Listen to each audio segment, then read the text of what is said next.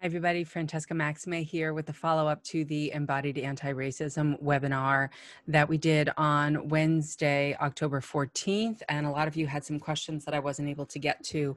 And so I thought that I would try to take a moment to um, answer some of them now and also let you know that the class starts very soon october 21st at worldwideweb.therapywisdom.com i hope that you can uh, come and take the class and um, really just answer more of these questions live uh, or ask i should say more of these questions live with me so we had over 2,300 people sign up for the webinar, which was amazing, and 600 people or so on the live call from all over the country, all over the world.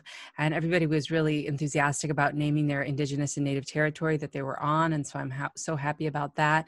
And there were people from all walks of life. We had lawyers from Germany, and we had, you know, social workers in Idaho, and, and therapists in New York City, and um, folks who are community organizers down in. Um, South America and in Brazil. And we just really had a whole beautiful wide range of people from different modalities like brain spotting and internal family systems and somatic experiencing, and also psychoanalysts, and also people who are uh, not directly therapists, teachers, uh, folks who were just doing something intergeneration intergenerationally with their own family. Um, there was a mother, uh, husband, uh, daughter, or a grandmother, mother, daughter trio, I think, um, that was in there also. So just a beautiful sense of community. I have sent uh, a variety of, of, of, resources along with this email that I hope that you get. And um, there's some links in there. Uh, there's also a thing I wanted to say about when I say BIPOC in the webinar, uh, it was called out that I didn't explain what that is, and I apologize. That's Black, Indigenous people of color. It's often used as a term. Um, in much the same way that in the UK, you'll hear Susan Cousins talk about when she's the guest lecturer in the class uh, about Black and Minority Ethnic or BAME. It's the acronym that they use there. And BIPOC can be a bit problematic, um, and, and so can BAME. And um, there's also, you'll hear people say AAPI, which is Asian American Pacific Islander. And there's other acronyms sometimes that come up like Latinx, L A T I N X, if you're not familiar with that, which um, can refer to anyone in the Latino, Latina, Hispanic, um, Spanish diaspora, but that's a whole additional piece. But just to sort of give a little bit of a framework for some of the terms that maybe I didn't I didn't fully explain uh, and assumed the other thing is just about the terms of uh, whiteness or anti racist or anti racism or white body supremacy or white supremacy. I just wanted to say briefly that, of course, these are problematic terms and challenging. What we're talking about is systemic and structural oppression and how that's been perpetuated for years uh, based on a justification around skin color and all the implicit biases and mm, sort of you know neurophysiological and neurobiological and intergenerational um, imprintings uh, that that occur and then show up not only in our own individual bodies but in policy in practice in our educational systems in our court systems and things like that. And so there are folks who are sort of saying oh you know it's not great to be sort of fake woke or to kind of call out the social work um, profession or whatnot which is something i had mentioned on the call. It's not so much that that's not um, something that I you know a profession i mean that's what i do. It's it's more that i think the origins around having it be coming from uh, folks who are wealthy who are sort of like doing for as opposed to doing with um, doesn't actually start to investigate the origins of the inequities and the inequalities. And so it's a question of um, are we changing the system or are we sort of looking at this from a from an I me mind perspective. So it's a both and. It's not an either or. We're looking macro. We're looking micro. We're looking meso. Um, we're looking at all the different layers. Okay, so I'm going to get right to it with some of these questions and see if I can run through them quickly. Can I speak to racialized intergenerational trauma for white and black bodies from Kaylin? Um, I, you know, speaking to that is essentially that it shows up differently in my view in my experience. You will have you know clients will say to me things like you know as a black person my white partner doesn't understand what it's like to never not have anxiety, to never not have had uh, the anxiety, the fear around walking down the street, or what is it like if I go to the gas station by myself in an area upstate that we're not familiar with, that um, but she's not with me, and and and to have that kind of apprehension around um, skin color, and I think that I think that that's different from the way I think intergenerational trauma uh, lives in people who are white, and you know, especially in the United States, when you are looking at all the different ways in which it's been systematized that we're sort of taught and shown that we don't need to be aware or shouldn't be aware of of really what the inequity is. Because of housing practices like redlining we only ever really saw white people so then how are we ever going to say well i you know don't have a black friend because i didn't grow up with a black friend and then if i didn't grow up with a black friend i don't have the experience of what it's like to actually see black people as relational and as my friends and as people that i have shared experiences with and so on and so on. And so over the years i think that shows up as numbness ignorance defensiveness you know general dissociation and then shame like we talked about in the webinar oftentimes for for for white bodies uh, white people uh, that's another term I know we, we kind of unpacked a little bit in terms of bodies or, or not and why we use that term. Just a brief answer there on that. I'm just kind of going through these kind of quickly. How to integrate racism also, how each person in the conversation is embodying the racism along with ourselves in order to create greater safety in the conversation. I think what this question is getting at is if we're trying to have a conversation about unpacking inequity or racism, how do we self investigate? And then also, how do we kind of take in and integrate each person's social location and positionality and where we are in all of that? And again, you know, that chart that I used in the webinar, that social location chart, is going to be sent to you it's a sociological tool um, that that you can find online, but I, I, I think it's really valuable. I think use that chart as a guide. You know, where are you? Where are they? What are they seeing that you wouldn't see? What are you seeing that they wouldn't see? Not making assumptions, but just knowing that if they have a different history, if they have a different social location and positionality, those terms are interchangeable, by the way, um, then that's going to mean that uh, you may not see the same things as the other person. And so I think, in terms of creating a greater sense of safety, one of the things that I like to do, depending on the uh, context of the conversation you're having, is have ground rules. And some of the ground rules that I like are from a guy named Parker Palmer, P A L M E R. Uh, he has something called Courage and Renewal Touchstones touchstones.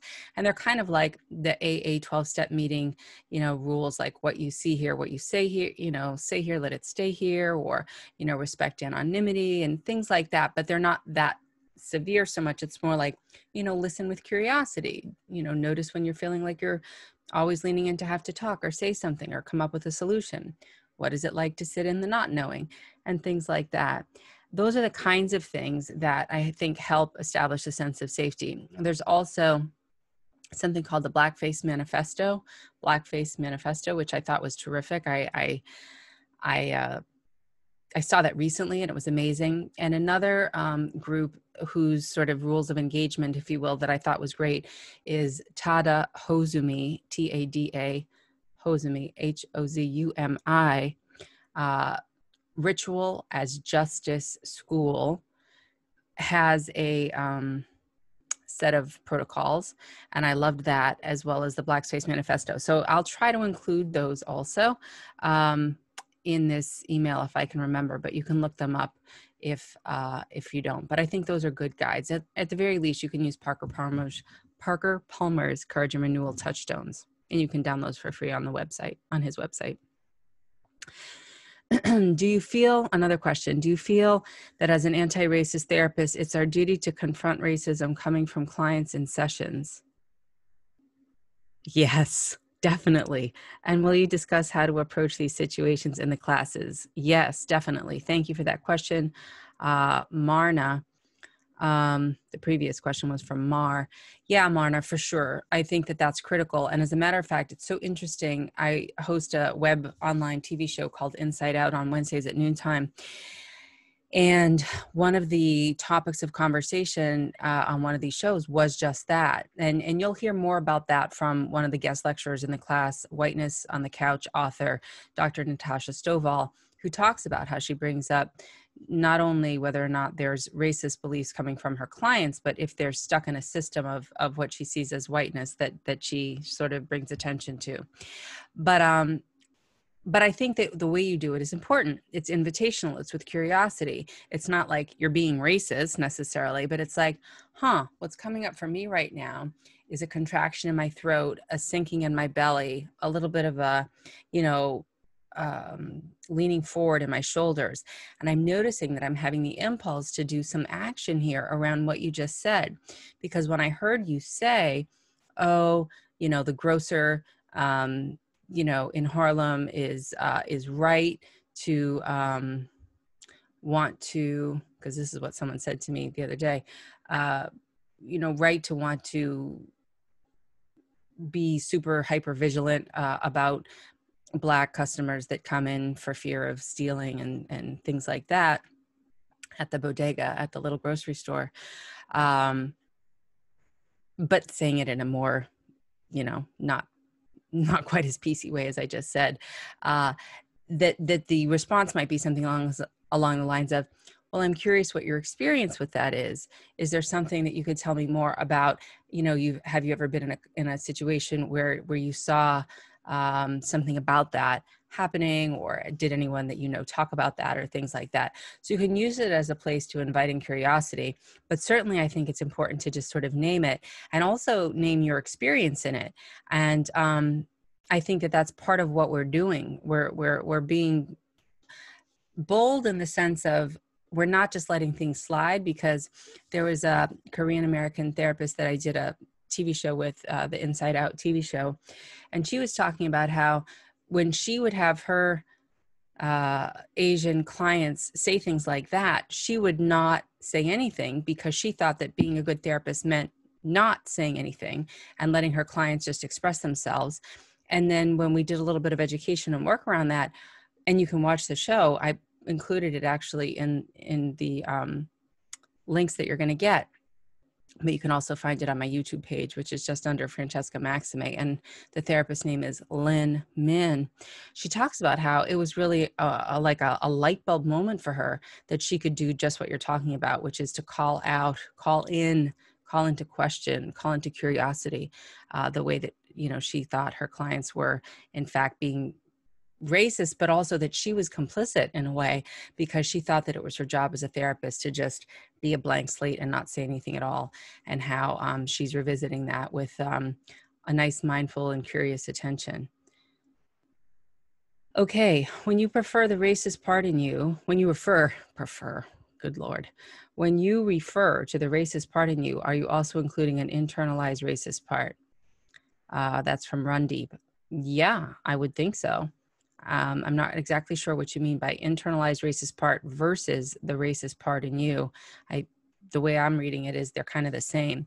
But if you listen to my podcast with um, Dick Schwartz, or if you take the class and you um, listen to the conversation that I had with uh, Dick Schwartz, founder of Internal Family Systems, he talks a lot about how all of our parts are to be respected and they want to be understood and they want to be unburdened. And so, how do we unburden the racist part within the that's internalized from its need to hold racist beliefs? And when we are beginning to do that, we can then allow there to be more space between our greater awareness or our self energy, as he says in internal family systems, and um, allowing that part to, you know, to have some respect for the fact that it probably had to learn how to be that way in order, you know, to to survive some kind of a of a a situation that was difficult for it at the time or was just pre-programmed in and it's never been investigated or interrogated and now we can sort of bring it up to date and let it know that if it did come to believe that then we can um, unburden it from from that belief because it causes harm to itself and to others. And um, and that we can then you know become more uh, in relationship with it because even dick says you know his parts that are racist still come up or you know mine i know certainly do um, but you work with them just like you work i work with the voice that tells me you know even though i'm sex positive even though i'm body positive even though i'm all these other things that like yeah maybe i need to lose some weight or maybe i you know so we still have the dialogue. It's a question of often we still have the dialogue but it's a question of how we feel or you know when we are having that dialogue. Are we noticing oh yeah that's like what jack kornfield who also is in the class talks about when he says the top 10 tunes. He's like, you're going to have some of the same sort of things pop up over time, but you just learn to just say, oh, yeah, I bow to you. Yeah, gratitude. Right. There was at one point in time, it was important for you to say this or whatever to me. And thank you for that. And now I'm going to go back to my you know whatever it was that i was doing and that's really embodied mindfulness or applied mindfulness i should say in action that's what it really means to just um, I think notice your thoughts, but not be fused and merge with them. Let your loving awareness be the larger container so that you can we can kind of process our experiences without drowning in them. Okay, this one is from Jill. How can we respond more mindfully to those who don't believe racism exists? Well, you know, my friend Lama Rod Owens, who's a Dharma teacher, says not everybody's going to be saved. So I think that, you know, we again, one great antidote is metta, metta, metta practice, M E T T A practice, loving kindness practice. And the queen of that is Sharon Salzberg. And um, you can go to her website, sharonsalzberg.com, and read all her books. Um, there are many. And it's basically this practice of, you know, may you be safe, may you be happy, may you be healthy, may you be filled with joy and with ease. So if you're finding someone who is exhibiting racist behavior, racist thoughts, racist beliefs, and you're, you know, feeling like there's an impulse to sort of right the wrong or come back into balance or find greater balance, but yet at the same time, it, it's it's either going to zap all your energy because there are some people that just aren't going to be convinced, or it's going to be a situation where you know it might cause you severe harm and you're needed elsewhere in order to be able to move the needle where you can move it that you can still do something with that energy. It's you can still wish them well may you be safe may you be happy may you be healthy may you live with joy and with ease.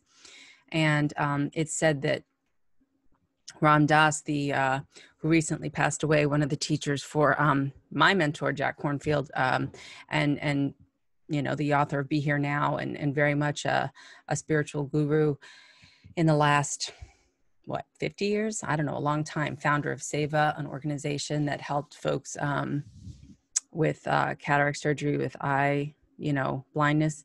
Um, i guess his altar used to have you know his enemies so to speak his uh, difficult people uh, on it also not just his goddess goddesses and gods and and things like that. But the the practice of loving kindness the practice of love the practice of acceptance the widening um, and opening of the heart uh, was very much to include at that time anyway the, so the story goes um, uh, i guess for him again this is not a political class this is just an example uh, dick cheney who um, i guess in the throes of you know uh, the wars in iraq and afghanistan uh, was presenting some challenges, but also worthy of being incorporated into that field of, of metta, uh, loving kindness and awareness. So you might want to try that with folks okay, um, what will the end point look like when we live in balance to see ourselves in each other? If there's so much diversity and call for recognition of difference to 16, oh, to, to correct injustices, will it be continuous perpetual work? Sarah. Um, I mean, this is the whole point. Everything's emergent, we're process, and so we don't know what it's going to look like. But the whole point is we shouldn't know because it's emergent, it's going to be something new. If we already knew what it was going to look like, then we're doing something wrong. We're supposed to not know what it looks like and then be comfortable with the emergence and the uncertainty around what it is that's coming up. Because if we always have to pre know, if we're trying to pre know, which is a lot of what our anxiety and our insecure attachment with ambivalent attachment and preoccupied attachment does. When we try to pre know and fix and plan and all of that, we, we're taking away from what a new solution might be. which is why when you look at people like doing mutual aid, so sort of like equal exchange, like almost like a bartering kind of a situation, that those folks aren't working through formal structures and systems. They're creating a new kind of economy. When you looked at um, a teacher like Sonia Renee Taylor, who wrote a wonderful book called The Body is Not an Apology, Sonia Renee Taylor, The Body is Not an Apology, highly recommend it. Um, that you look at her sort of crowdsourcing a way to pay back her student debt and her student loans in a way that's completely open and and generative and she didn't come up with it somebody did this for her they just sort of spontaneously did it and people gave $10 $20 whatever it was and all of that debt got wiped away and that's part of what we're talking about when we're talking about rebalancing because she teaches a lot she gives a lot of amazing free teachings away and i respect her a ton so I think that um, continuous perpetual work. I will say this about anti-racism work or whatever you want to call it, social justice work or or you know structural inequality um, rebalancing work. Um, that when I was working at a uh, group practice in Manhattan last year with a bunch of really established therapists, you know, folks who were some were former clergy, some were counselors. Uh, it was pretty much all white, you know, and I was starting to talk about these things. You know, one of the people there who was actually about my age, perhaps even a little bit younger than me, uh, who was married with kids, was like, oh yeah but that means we're going to have to do it like all the time or it's going to be like you know if we feel like it in our spare time. And then i heard another really big really well known trauma therapist who founded a model say something like oh it's like having a second job. Well, here's the thing. It is like having a second job in a way until you get at least a baseline around what the real history is of the country, because otherwise, we're never going to really understand what all the other folks who are non white, if you're white, um, are dealing with because we haven't yet really looked at and unpacked all the privilege that we have as white or light skinned privileged people. And so, yes, it's going to be a commitment around that, just like unpacking the environment, just like unpacking, you know, our own very micro personal issues is is going to take some unpacking but it's worth it because once you get to baseline then you're more open-minded around everything when at least in my experience when it comes to uh you know sexual identity gender you know equality. You you're not so ableism and and religious differences like we're just not so easily triggered. So i would just use this maybe as a as a portal to um, all of the sort of decolonizing our minds, right? Like that's the whole, there's a movement by Dr. Jennifer Mullan called um, Decolonizing Therapy, and she's amazing also. I highly recommend. Okay. Um, my father is Colombian, nephews are Islamic and Senegalese. I look white. My in laws are overtly racist fundamentalist Christian conservative, how do you suggest I approach conversation with them? I want to open dialogue, but don't know how. They're very Midwestern, which feels hypocritical and infuriating. Help me address this. I don't know how to sit there. Well, I'll I'll I'll sort of paraphrase the, and this is from Amy. Mm, I think I've heard, and I could be wrong, but I, I think I've heard my mentor, Dr. Jack Kornfield, talk about like, you know, just don't like be respectful, minimize the time spent meaning don't overly engage it's a little bit like the the the you know the question uh, earlier asked just be the healing yourself. Notice that the impulse comes from you.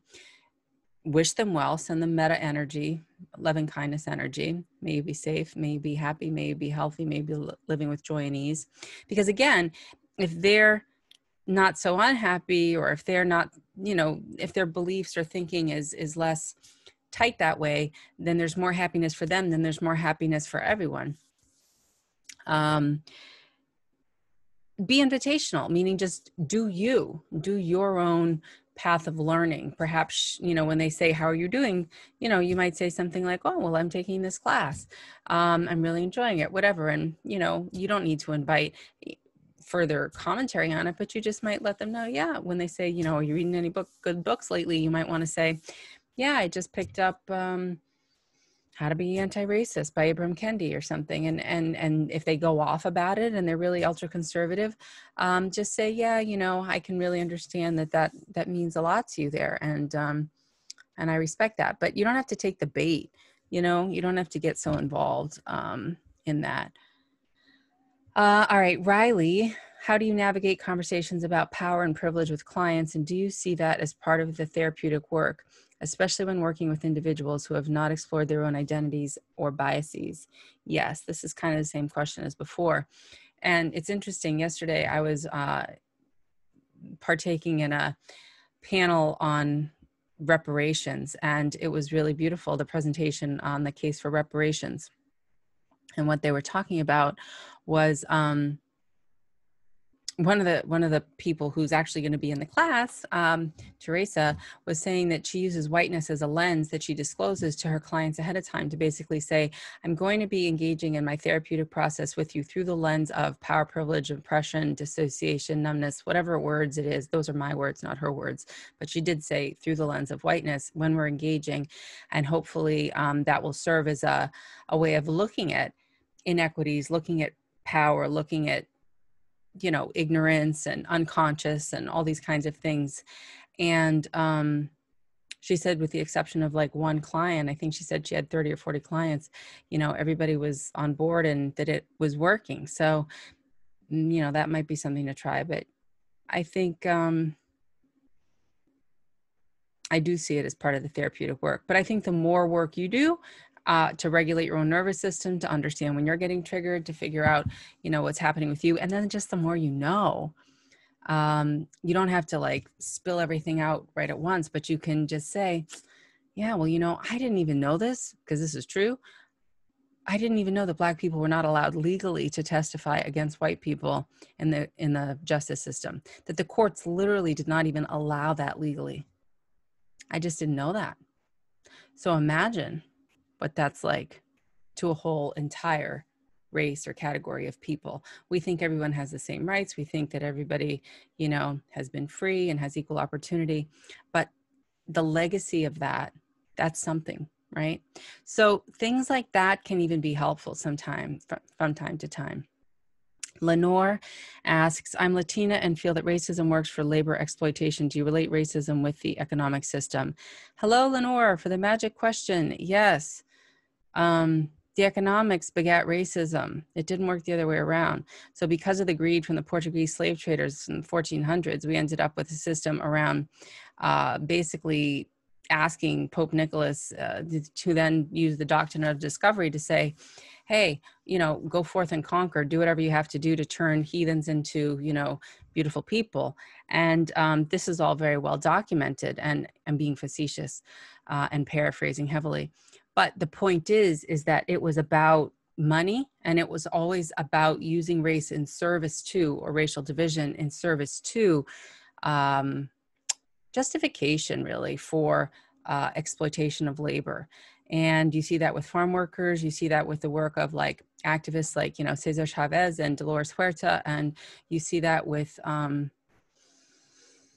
you know, a lot of folks who've been fighting for economic rights with COVID, of course, frontline workers, and who's actually disproportionately affected by this Black and Brown communities, Hispanic, Latinx, you know, um, and Black communities, uh, because, you know, who's out there actually delivering the groceries and, and, and doing the cleaning and, and all those kinds of things and more exposed to COVID. So, uh, I definitely say yes to that, and, and we'll unpack more of that.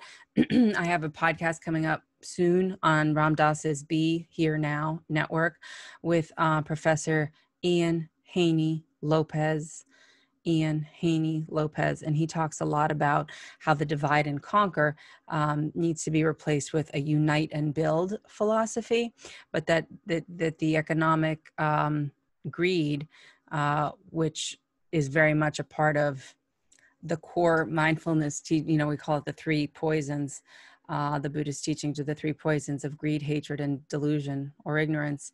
Um, but that that greed, that economic greed, I have to have more, and that whole dominant system that comes from that uh, structural, you know, racism, patriarchy, that whole thing, uh, is is it's it's not it's not separate from economics, and yet racism and and economics are not exactly the same thing. But I think Ibram Kendi, uh, the author of uh, you know, so you want to be anti-racist or whatever it's called. Uh, I just said it earlier, but now it's escaping me. He said they're conjoined twins, conjoined twins. So I think that's a good way to think about it. All right, from Samantha, is there any instance where certain people's traumas need to be acknowledged apart from the we before the people or traumatized parts can be willing to be accepted or integrated into the we? And yes, 100%. And episode 37 of my rebooted podcast on Ram Dass's Be Here Now network speaks to that. Uh, it's with Dr. Diane Goodman. And in that case, uh, she's a Jewish uh, anti racism educator, and she's talking about how, you know, and I referred to this a little bit in the call, I think, on the live webinar, is that being mar- being persecuted on the one hand um, doesn't negate or isn't you know it's unique from from the kinds of persecution that black people would have. So you have both kinds of trauma intergenerational trauma. You have both kinds. And sometimes there's a and her her whole call was do your own trauma work whatever that is. And that would be true if it's um you know personal trauma like um you know abuse at home or neglect and, and all those kinds of things. So certainly i think you have to learn how to take care of your inner part so that you can become more empathetic. It's that that's the portal. Otherwise we often feel like you know i don't want to say that we're we feel like the victim the survivor um that we can kind of you know we need to take care of that for as long as we need to take care of that but to not use it as a not that we would, but to not use it as an excuse, but to use it more as the portal to this helps me and it helps me open up to being more compassionate and feeling more connected and less separate. So I'm not so separate because I had suffered um, violations or neglect. I am more connected because I'm in the community of all these beautiful folks who have survived. And then through there, I can open up perhaps to doing further uh, anti racism work or even just awareness so that as I show up in my day to day, I do enough education or I do enough um, trauma work so that I'm able to show up when it's necessary, whether it's a board meeting or the line at the grocery store or whatever it is, in a place of awareness around the need to not have the silence as violence um, but to actually be able to step in and and and call something out if necessary um, Susan asked how much of the training includes practicing somatic experiencing. Everything is always that. I mean, I'm speaking kind of quickly now. My, you know, a little bit hyper aroused. I'm noticing that my chest is a little bit tight. So I'm always regulating. The somatic experiencing pieces will be pointed out as they were in the webinar, like let's pause, take a look around, notice that where we are in space and time, if things are getting a little bit charged, um, that kind of thing. It is a somatically informed class. It's a nervous system regulation polyvagal theory informed class. And so we'll be in, sort of learning how to be embodied as we go and maybe sort of offering little tools and tips if we're going through conversations and we're like, wow, I'm getting charged here. Ah, what does it mean to kind of slow down and breathe ourselves down and to stay in connection? Pause, titrate the experience. If you have to turn off the camera, come back, whatever it is you have to do, or, you know, and then come back if you can. Um, that again, you have agency. You have agency. So um, I hope that's helpful. From Marion, uh, heartbroken about my experience. I really like this black woman professor. I went to speak to her. Next, I know, before I could even open my mouth, I'm being told that I'm a white oppressor. I never connected with her again. Too painful, but I still value her. How could I have dealt better with this?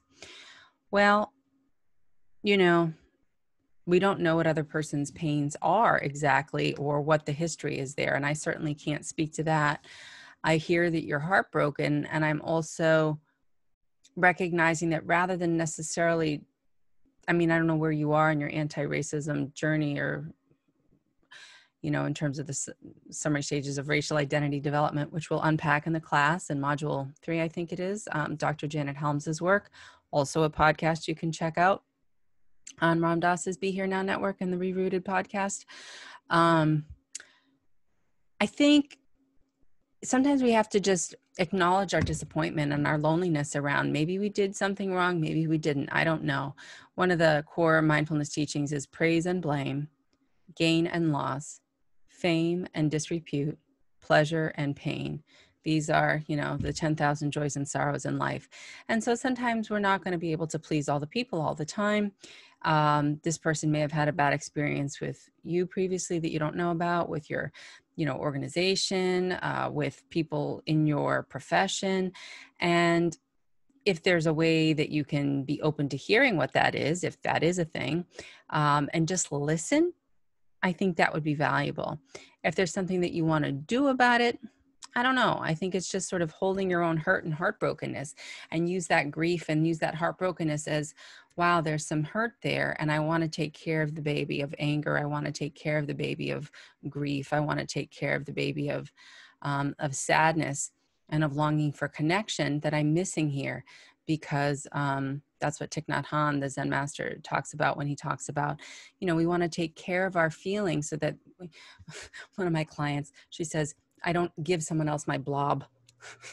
you know, you don't want to give this woman, even though you want to be in connection with her or want to feel like there's greater understanding, you don't want to give her, her your blob around that. You want to be able to learn how to kind of take care of it a little bit. And, um, and then uh, continue to do this work uh, read the books take the classes and just practice the self-regulation and learn how to do distress and discomfort tolerance uh, around uh, emotions that aren't always happy happy joy joy but but they're they're fine you know they're fine. They're part of the human condition just like old age sickness and death just part of life as the buddha says. Okay um, marion says how do i get consent? I ask about appropriation. So when i was talking in the webinar about appreciation versus appropriation you ask. You just ask. Meaning you could ask it figuratively or you could ask it literally. You could ask it sort of for example, I used a Tibetan singing bowl in my practice. And did I actually go ask anyone if I could use that because it is culturally appropriative? No. Did I ask for an ancestral blessing to say, in this context, am I going to be receiving or being allowed to receive the gift and the wisdom of the resonance of what this bowl has to bring and to share? And is it all right for me to use this as a transmission of vibrational energy from all of your wisdom onto everyone? You know, you can create your own ritual about it. So I think that there are times when you can directly ask. Um, like there was a seminar that I was at recently in a trauma healing thing where I was making a point that the example they were using was um, about a white man who had almost been attacked by a shark and who was escaping from that and that the trauma therapist who was also white and was in a white a room of white people talking about this incident that when the white clinician who was showing this demo was showing this to what was a large percentage of uh, trauma students um, who were people of color, that there was nothing contextualized around what that example may or may not have been, like how it may or may not have landed for certain groups of people. And so I said in sort of a sidebar chat, you know, the shark in the water is kind of a you know if you're surfing in california and you're just like this cisgendered heterosexual white male as this example was you're enjoying a certain amount of privilege at a certain level. I'm not sure if this is the best example without context for what it's like to feel threat because i feel like a lot of people who are people who are black and brown feel like there's a lot of sharks in the water so to speak on the sidewalks and you know hanging around the corner and things like that and as their neighbors. And this mm, you know one of the clinicians had said you know i i'm calling attention to that in the group. And i was like well you know i'm a little bit offended that you didn't ask me to give you permission to mention that because it was something that i had said on a sidebar because she was thinking she was doing something good by bringing it up. And I think when I then brought that up, she did actually say, I'm sorry, I didn't, you know, ask for permission. And, you know, this actually wasn't my idea, it was Francesca's idea. Anyway, I don't know if that really answers the question. It's probably too confusing as an example, but it basically was a woman of color noticing something that was weird about the example that wasn't contextualized that could be used as an example for polyvagal theory, nervous system regulation, and escape from threat. Could still be used, but to put it in context for this audience, um, if you're being culturally aware, and that, you know, my idea, my observation as a woman of color, sort of looking at that and seeing that was then just plucked and then spoken out into, you know, the group as a white woman trying to help, trying to do this, you know, be an, you know, anti-racist leader, which was then kind of offensive to me, not in a horrible way, but, you know, a little bit. And so then i walked it back and i mean then she walked it back and she just said you know i'm sorry i'm, I'm learning. And i'm like yeah that's fine. You know we're all learning. We're all doing this um, together and then i think this is the last question um, from tom. How do you know when your own anti-racism work is done and you're ready to help others? I've worked on my own trauma and have done the traumatic trauma work myself but i still yet sense resistance. I think what you're saying is internal resistance tom. Here's the thing. The whole idea about this is calling it the path to becoming an embodied anti-racist practitioner person human being. Anti-racism is code for loving connected sense of belonging integrated you know all of that around not only racial issues but around issues in general so you just have a sense that like you know what you you it's a sense of forgiveness around i'm going to mess up it's okay I've been traumatized. I know how to regulate myself. Gee, people are still going to say bad things about me or maybe do bad things to me sometimes. And I have privilege. I can hold both of those. I may have um, worked through a lot of my trauma. I can still get triggered. Do I criticize myself for that or do I hold myself in positive, warm self regard? I'm enough and I matter, noble and dignified, relaxed and alert. Here I am in the midst of it all, taking my seat with everyone here in community and on my learning journey we're never done. You know, someone once explained it as a spiral. It's not a circle, which is sort of the wheel of samsara, you know, the sort of around and around we go. It's sort of a spiral where we're emergent. So it kind of gets bigger and it kind of gets wider as it goes. So it's always emergent, always expansive. So I would just say it sounds like you've done some amazing, beautiful work. And I just encourage you to take the class. If you're not already enrolled, please join us and um, do more of the work uh, together because it's it's we'll learn from each other that's really the beauty of it all um, i think that's about it for now. So i just want to say please join us for the embodied anti-racism class a mindfulness way for helping professionals starting wednesday october 21st at 2 p.m eastern time. We'll have five classes live q&a some people have asked um, what does that include? And we'll pick a little topic of the day or start with a conversation and then i'll open it up and you can ask me more questions one-on-one. And if any of you want to do any experiential work with me um, on the spot then um, we're welcome to do that. I know we didn't get to do that in the webinar although i had hoped we would.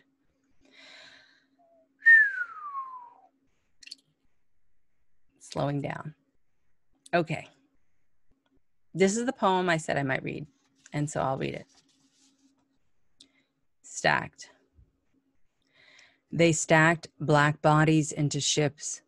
The middle passage layered 20 million people, plucked and purchased. The remainder, half of them lived. What remains is nuclear, whiteness, eternity's half life.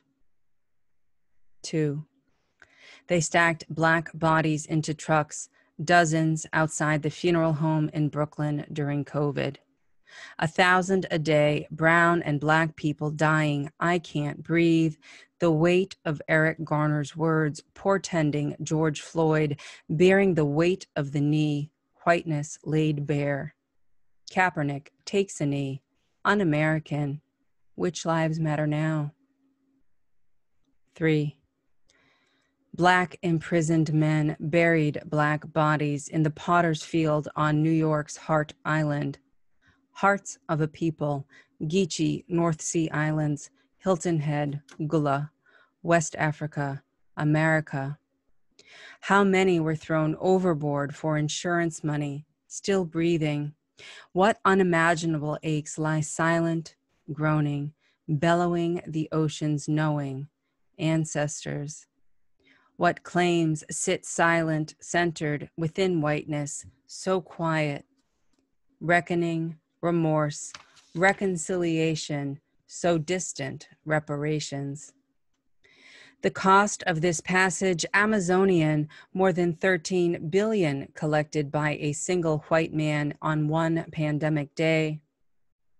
Our consumption insatiable, this particular appetite for privilege, defending manufactured liberties, whiteness's psychic abyss. Four, when will we own the horror? How will we take it in, digest it? To risk drowning in truth, arrest cooperation in the tacit complicity required of silence. These habituated ways of unseeing, so stealthy, our refusal to plumb such depths as facile and relaxed as Derek Chauvin's demeanor. Our assignment, chiseling through, mining the layers of all that is complexed within us this endeavor our task on unusually helpful fracking. Five, we keep our shadows held inside so tightly, clinging to their benefits as southern belles clutch their pearls. These shadowy remains remain stacked so deep, so layered within our bowels, still moaning each one with its own voice, yearning to rise up, still, each one relentless in its knocking, a persistent reminder. Having, having preserved this sacred enthusiasm, both abundant and unsullied, these holy tremors await their ascension. Ancestors forever eager to meet the light and sing.